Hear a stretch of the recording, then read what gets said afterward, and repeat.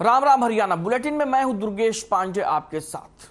प्रधानमंत्री नरेंद्र मोदी के प्रसिद्ध रेडियो कार्यक्रम मन की बात के सवे एपिसोड पूरे होने जा रहे हैं। सवे एपिसोड का प्रसारण संयुक्त राष्ट्र के मुख्यालय में भी किया जाएगा। इस खास मौके पर माइक्रोसॉफ्ट के सह संस्थापक बिलगेट्स ने भी पीएम मोदी को बधाई दी है। इस चर्चित रेडियो कार्यक्रम में अब तक पीएम मोदी ने 500 से अधिक भारतीयों से बात की है, जो असाधारण काम कर रहे हैं। इस सवे एपिसोड को ऐतिहासिक बनाने के लिए खास तैयारियाँ की गई हैं। इस एपिसोड का लाइव प्रसारण देश भर में चार लाख सेंटर्स में होगा। देश भर के विभिन्न सामाजिक संगठन, सिविल सोसाइटी और अन्य संस्थाएँ भी मन की बात के इस कार्यक्रम में बड़ी संख्या में भाग लेने वाले हैं। यहाँ तक कि विश्व में प्रवासी भारतीय भी प्रधानमंत्री के मन की बात के इस सवे एपिसोड को सुनेंगे।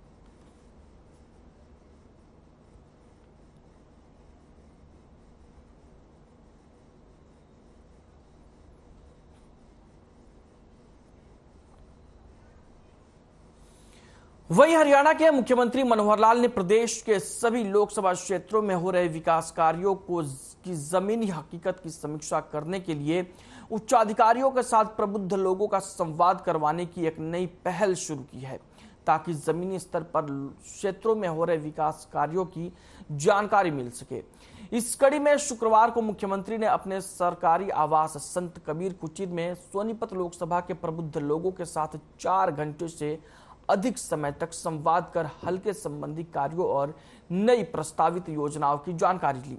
इस दौरान विभिन्न विभागों के उच्चाधिकारी भी उपस्थित रहे। मुख्यमंत्री ने कहा कि प्रबुद्ध नागरिकों का दायित्व है कि सरकार की योजनाओं के समुचित कार्यान्वयन के साथ साथ लाभार्थी को सीधा लाभ मिले। वे ये सुनिश्चित करें। इसके अलावा योजनाओं की निगरानी भी करें ताकि किसी भी प्रकार की देरी और भ्रष्टाचार न हो। विकास कार्यों में जनभागिता ज़रूरी है और इलाके की मांग के अनुरूप ही प्रस्ताव भेजे जाए।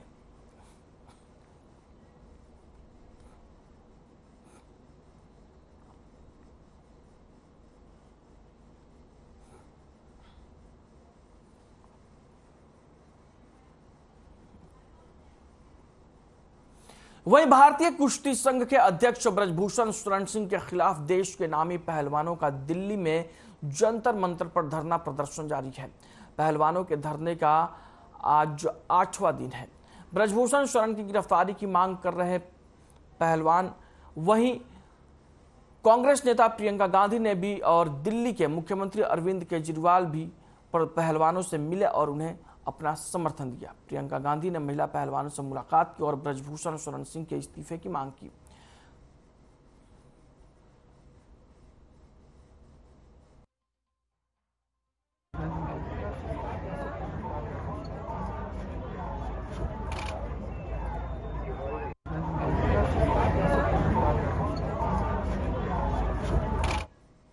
मुख्यमंत्री मनोहर लाल फरीदाबाद के दौरे पर रहे। सीएम ने फरीदाबाद में ग्रीवेंस कमेटी की बैठक की अध्यक्षता की। वहीं इससे पहले मुख्यमंत्री ने फरीदाबाद के सभी पटवारियों को टैब वितरित किया।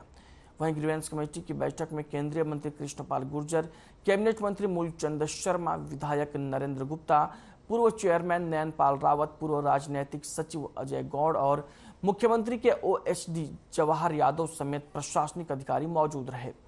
वहीं इस दौरान सीएम ने शिकायतों पर तुरंत एक्शन लिया। शिकायतकर्ता वंदना भारद्वाज ने 2007 में 209 गज का प्लॉट एचएसवीपी से खरीदा था, लेकिन विभाग ने प्लॉट का साइज़ कम कर दिया था और वंदना को 135 गज का प्लॉट मिला।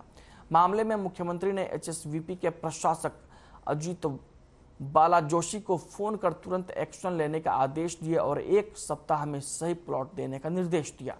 वहीं ग्रीवेंस कमेटी में एक शिकायत पर मुख्यमंत्री मनोहर लाल ने education director doctor Anshaj Singh को फ़ोन पर निर्देशित किया और कहा कि निजी स्कूलों की ओर से किताबों की मनमानी पर हरियाणा सरकार सख्ती करेगी और पॉलिसी बनेगी। इसकी पेमेंट करो ताकि इसकी कुल चौदह ग्रीवेंसेज आज की मीटिंग में थी। आज इसमें से दो ग्रीवेंसेज तो आ, कुछ विषय अभी डिसाइड नहीं हो पाए तो अगली मीटिंग के लिए डेफर किया है पोस्टपोन किया उसको और बाकी बारह में जो निर्णय हमने दे दिए, उसके अंदर एक जगह तो नवादा माजरी जो सेक्टर उनचास वहाँ पर एसटीपी जो है, वो पास किया है। एसटीपी लगाया जाएगा ताकि वहाँ की जो समस्या है उसका परमानेंट हल वो निकाला जा सके। एक स्कूल की जो कंप्लेंट आई थी, जिसके अंदर किसी बच्चे को एडमिशन देने के लिए अभिभावक जो गए तो उन्होंने फ़ीस ले ली और बाद में उस बच्चे का एडमिशन नहीं हुआ तो उन्होंने फ़ीस देने से मना किया। लेकिन उन्होंने कहा, या तो फ़ीस वापस करें, नहीं तो उसके खिलाफ कार्रवाई करेंगे एफ़ कोई बच्चे का एडमिशन या तो करने के बाद कोई बाहर निकालता तो फ़ीस रख सकते हैं, लेकिन अगर एडमिशन हुआ ही नहीं है, वो वेटिंग लिस्ट में है तो उसकी फ़ीस रखने का उनका अधिकार नहीं है इसको वापस करने के लिए निर्देश दिए हैं। कुछ लोग ऐसे हैं जो सीएम विंडो में हैबिचुअल होकर के और बहुत संख्या में, और सीएम विंडो लगाते हैं। मुझे लगता है कि वो सीएम विंडो का, एक दुरुपयोग करने के लिए और बल्क में लगाते हैं ताकि अधिकारी जो है वो परेशान रहें। ऐसा ग्रुप ध्यान में आया है। उन्होंने कहा कि पिछले छः महीने में उनकी जितनी कंप्लेंट्स आई हैं, अगर किसी एक फ़ोन नंबर से 20 से ज़्यादा कंप्लेंट आती हैं तो उसको हम दीवार कर देते हैं, उसको चेक कर देते हैं कि उस जगह से वो वो व्यक्ति भी और वो फ़ोन भी। दोनों को हम दीवार कर देते हैं। तो ये हमने आज एक केस में उनको बताया है।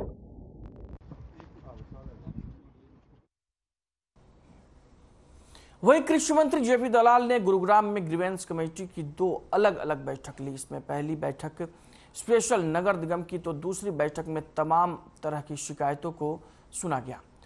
गुरुग्राम में पहली बार जेपी दलाल ने किसी विभाग की स्पेशल ग्रीवेंस की बैठक ली। अभी तक ग्रीवेंस की बैठक में तमाम विभागों से जुड़ी शिकायतों को एक साथ सुना जाता था। लेकिन पहली बार नगर निगम से जुड़ी तमाम शिकायतों को अलग से सुना गया। कुल मिलाकर मीटिंग में 24 शिकायतों को रखा गया था जिनमें तमाम विभागों के अधिकारी भी मौजूद रहे।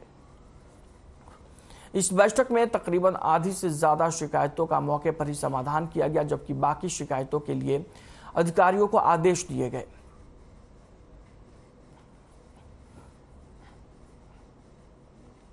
सबसे सबसे पहले तो मैं कुछ जानकारी में और देना पिछली बार जब कृषि की मीटिंग थी तब हमने कहा था कि एक बार जो म्यूनसिपल कॉरपोरेशन है, जनता से ज़्यादा जुड़ा हुआ ये विभाग है, इसकी अलग से शिकायतें सुनेंगे। और महीने में पहली बार ऐसा हुआ होगा कि दो मीटिंग हम ले रहे हैं।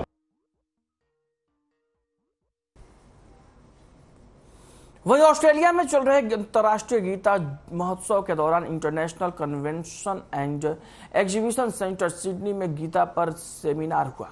इस दौरान मुख्यमंत्री मनोहर लाल ने वर्चुअल तौर पर सेमिनार से जुड़कर संदेश दिया।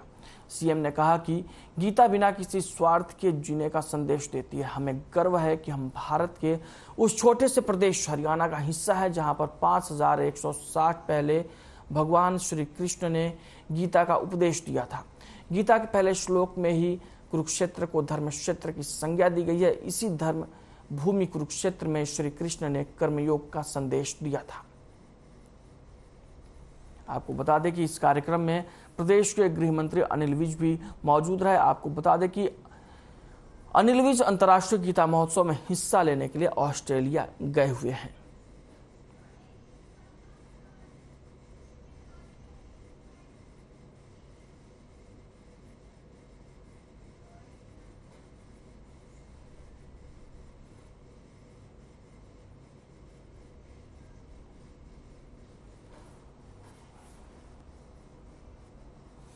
वहीं बीजेपी के नेता वरिंदर गर्ग को प्रदेश सरकार ने अहम ज़िम्मेदारी दी है। वरिंदर गर्ग को दक्षिण हरियाणा बिजली वितरण निगम में इंडिपेंडेंट डायरेक्टर बनाया गया है।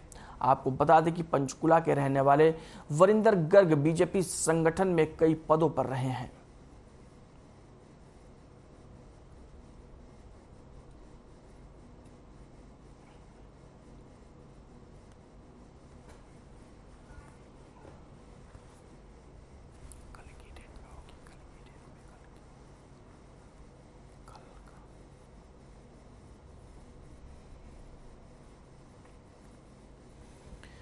वरिंदर गर्ग को प्रदेश सरकार ने बड़ी ज़िम्मेदारी दी है। हरियाणा बिजली वितरण निगम में उनको ज़िम्मेदारी मिली है और इंडिपेंडेंट डायरेक्टर बनाए गए हैं वरिंदर गर्ग। दक्षिण हरियाणा बिजली वितरण निगम में इंडिपेंडेंट डायरेक्टर की पदवी दी गई है वरिंदर गर्ग को।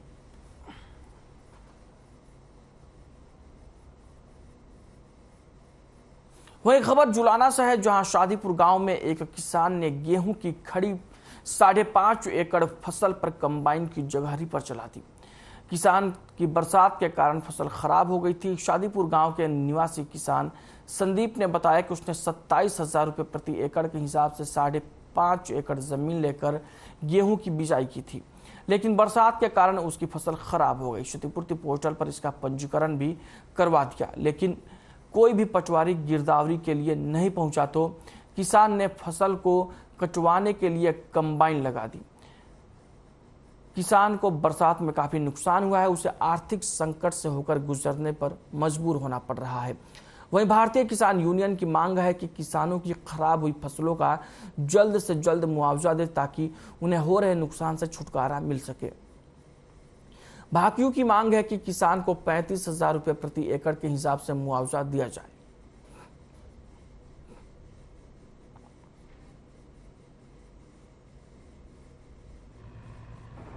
भाई साहब पिछली बार बारिश हो गई थोड़े दिन पहले ही। ज़्यादा बारिश होने खास सारी क्यों खराब हो गई? क्यों कंपेन ना देखी चुकर गए? इनमें क्यों पाए? एक मन किला गया दो मन मस्सा थी।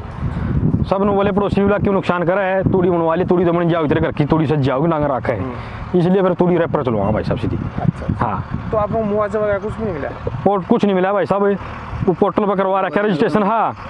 करवाया था पचहत्तर सौ परसेंट चल रहा है। देखो सरकार दे ओके। कोई आया गिरदावरी कोई गर्दौरी करने नहीं आया भाई साहब। बुलेटिन है फ़िलहाल वक्त एक ब्रेक का है रुकते हैं कुछ पलों के लिए।